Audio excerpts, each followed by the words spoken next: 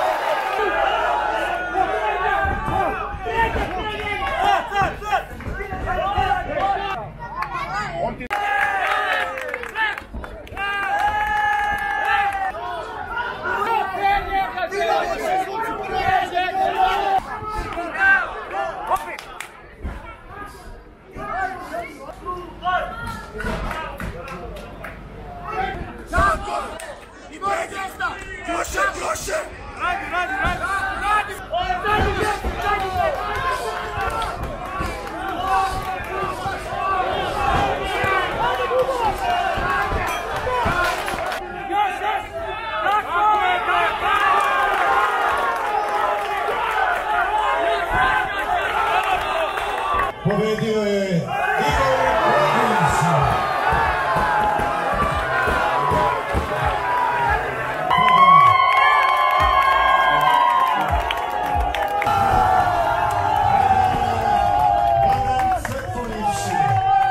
Drža, e, prvenstvo je bilo totalno teško, neizvjesno samog kraja. Evo e, treći meč odnosno majstorica je odlučilo pobjednika. Ja sam nakon dobio poziv da učestvujem u kategoriji do 81 kg i jako sam zahvalan e, e, Stoletu Kneževiću koji me pozvao i koji mi je ukazao povjerenje. Evo, igrom slučaja, moj meč e, posljednji ujedno je i od- odlučio šampiona i pobjednika ovog, e, ovog šampionata. Sombor je, Sombor je jedan onako omanji grad, e, do sada nikad nije imao uspeha što se tiče boksa.